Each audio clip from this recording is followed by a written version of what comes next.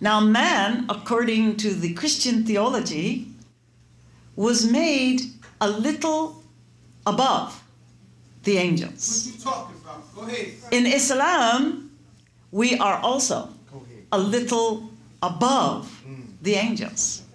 So if God, the originator, sends his messages to angels who are also described as messengers, we have also been anointed Go ahead.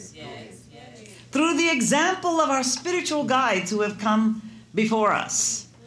To be anointed not to see us as simply, listen carefully, followers of the Christ or followers of the Messiah or followers of Moses or the Torah, the Gospels, and the Holy Quran.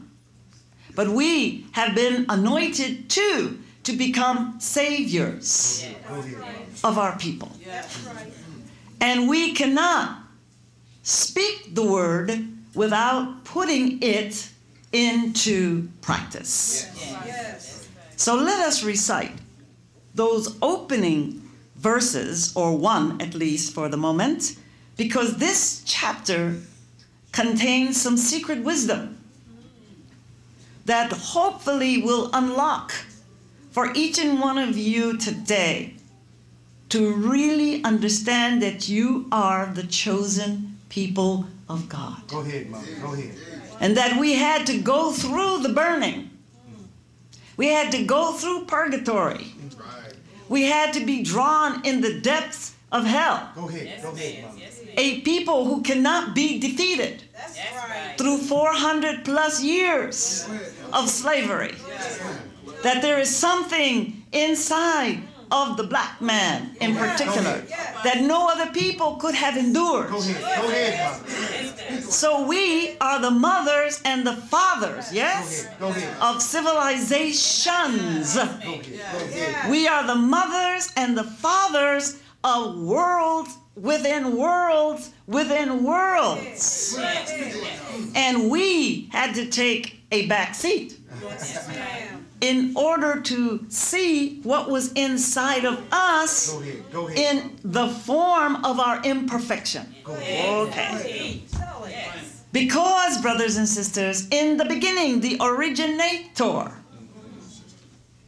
had to make himself up out of nothing. He didn't himself know what that nothing was. But there was a vibratory pitch. hmm? The Honorable Elijah Muhammad said, a force Go ahead. working in the dark that kept pulling up objects into view.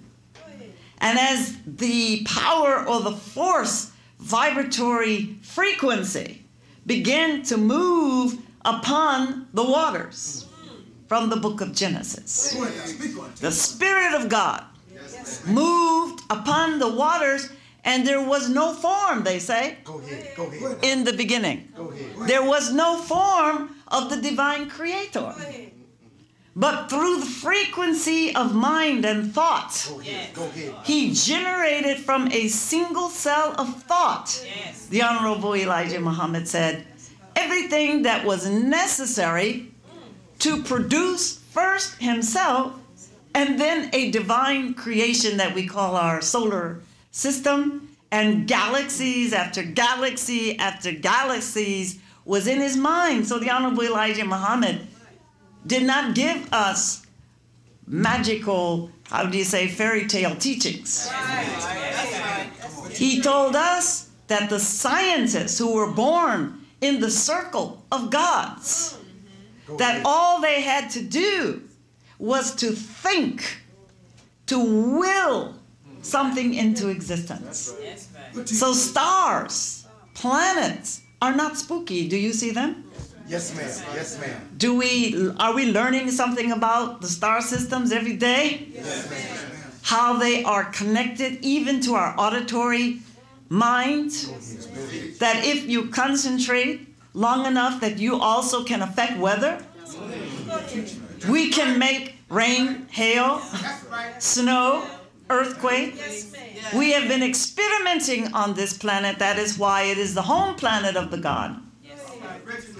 Because we experiment to perfect our creation. So sometimes we may be, I don't want to use the word uh, guinea pigs, but we had to operate on ourselves. I want to put a stop to people thinking that we are teaching mythology. I want to put a stop to people thinking that we are teaching racism. I pray Allah that when you leave this room today, that you will understand every word that I speak from the spirit and power of our God, from the spirit and teachings of the Honorable Elijah Muhammad is pure science. Go.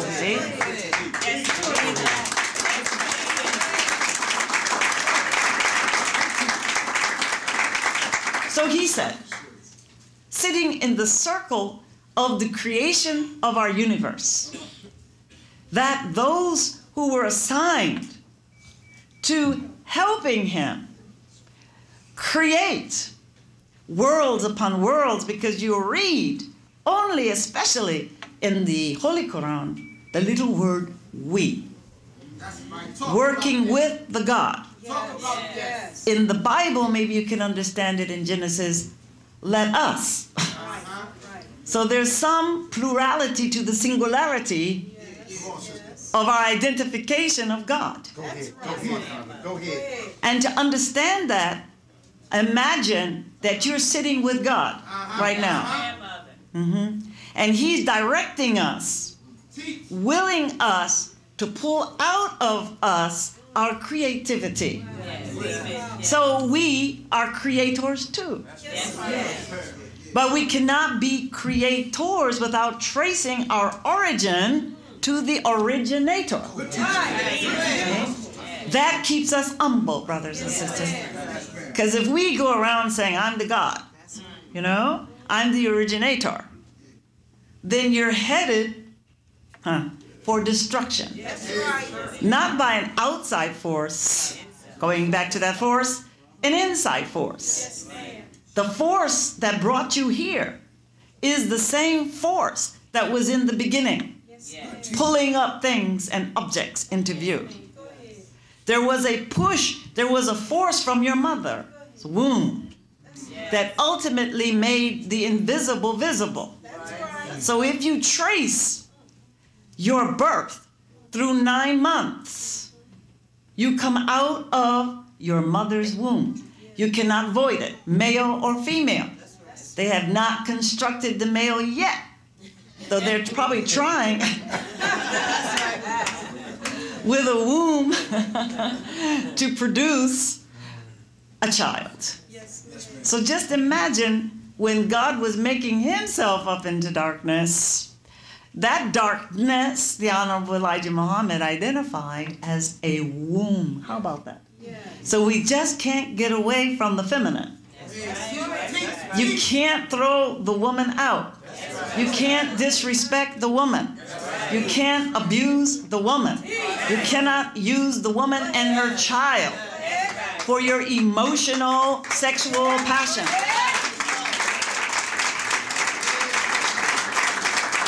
Without running into the God. Okay? Because as you treat the woman, you are disrespecting God. The woman, the Honorable Elijah Muhammad said, was made the second self of God. She was made the twin of God. She is the recorder of everything that took place in the darkness of space. That is why the woman has that instinctive nature about her. And she knows both the male and the female because she must give birth to both the male and the female. And she has to nurture them into what? Perfection. Stage by stage, is that right? Now I'm going to reveal a secret to most of you who are visitors for the first time or second time um, that most uh, theologians don't teach this. The trouble that we are having in relationships on this planet has to do with trouble that was in the germ of life in the very beginning. The Honorable Elijah Muhammad said, You look at the planets, look at every object that has come out of the first creation. It is not a perfect zero. It is not perfectly round. He says it's an ellipse. So everything that circles, circles in our galaxy, in our Milky Way galaxy of stars, in an elliptical movement. It is not perfect. And the Honorable Elijah Muhammad said it's going to have to take someone to come along to perfect that circle. So at random, we say 360 degrees make a circle. Okay, now if the circle is not perfected, then we perhaps have not reached the 360 degrees, but we're working on it, right? he said the shape of our heads and our faces is not perfectly round. If you look at the moon, the moon is a sphere, mm-hmm, satellite of our earth. And we can never, when we say full moon, it's not really fully round because there's a part of the moon that we never see, which is called the dark side. The dark side of the moon. So, everything, brothers and sisters, I want you to take me to task on it. That we can prove every single word that we represent to you from the teachings of the Honorable Elijah Muhammad, and we are reciting as students the assignment that we were given. And each one of you, when you step in the door of the mosque or the temple or the study guide, wherever you go, you have been chosen as part mm, of the work of a scientist.